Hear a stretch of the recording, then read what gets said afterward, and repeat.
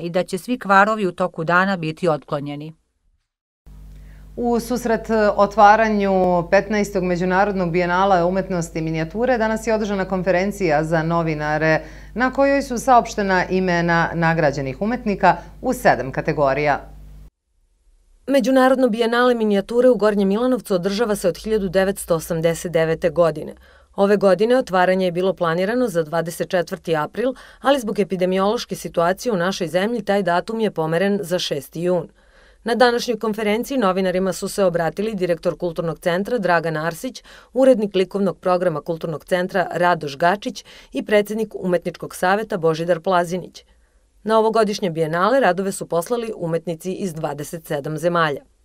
Ono što, što su bile procedure, znači umetnički savjet je vršio selekciju. U umetničkom savjetniku, savjetu su gospodin Božidar Plazinić, Sanja Filipović i Đorđe Stanojević, a u decembru je urađeno i žiriranje. U članovi žirija su Monika Miller iz Nemačke, Sofija Ječina iz Rusije i gospodin Božidar e, Plazinić. Arsić je dodao da će s obzirom da još uvek važi zabrana okupljanja za više od 50 ljudi, ovogodišnje otvaranje biti skromnije, kao i da će za sve posetioce izložbe biti obavezno nošenje ličnih zaštitnih sredstava. U galeriji će istovremeno moći da prisustuje najviše 10 posetilaca. Ove godine moramo nešto drugačije ovaj, da, da, da se ponašamo, tako da ćemo pozvati sve dobitnike nagrada, naravno i ovaj, članove umetničkog saveta i predstavnike opštine, da 6. juna uručimo nagrade za one koji ovaj, mogu da, da, da, da, ovaj, da dođu i koji žele da dođu na, na, na, na samo otvaranje, odnosno svečano uručivanje nagrada. Inače, na konkurs ovogodišnjeg bijenala pristiglo je 967 radova, a nakon rada selekcione komisije za izložbu je izabrano 689 radova od 423 autora. Pored Grand Prix-a dodeljene su i nagrade za svih sedam kategorija, slikarstvo, grafiku, skulpturu, crtež, primenjenu umetnost, fotografiju i intermediju. Grand Prix nagrada iznosi 1000 evra, dok nagrade po kategorijama iznose 500 evra.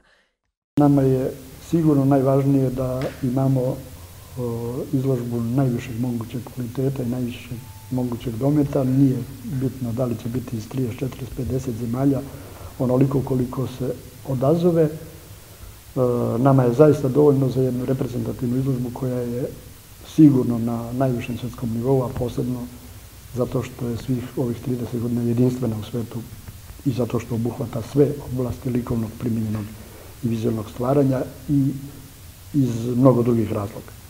Na ovoj konferenciji ekskluzivno su objavljena i imena dobitnika nagrada u sedam kategorija. Grand Prix osvojio je Zoran Bogdanović za svoj diptih skulptura, nagradu za slikarstvo osvojio je Nikolaj Buzov iz Bugarske, za grafiku nagrađena je Joana Papadimitriju iz Velike Britanije, a za skulpturu Dragana Kojić iz Srbije – Za najbolji crtež nagrađen je Branko Raković, u oblasti primenjene umetnosti nagradu je dobio Rastko Ćirić, nagrada za fotografiju pripala je Tanasisu Raptisu iz Soluna, a za intermediju nagrađena je Milica Janković iz Crne Gore. Uh, iz godine u godinu, kažem, ovaj bijenale se jako ovaj, uh, kvalitativno uvećava.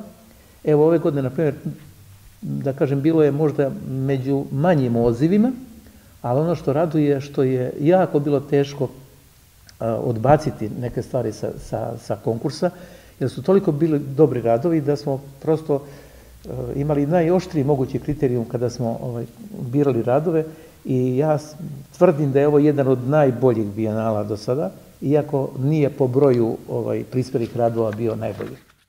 Predsednik Umetničkog saveta Plazinić istakao je da su ovakve manifestacije najbolji način za promociju jednog grada, rekavši da je Gornji Milanovac upravo zbog bijenala poznat u raznim umetničkim krugovima širom sveta. Izložba će trajati od 6. juna do 31. avgusta, a katalog celokupne izložbe biće dostupan i na sajtu Bijenala minijature.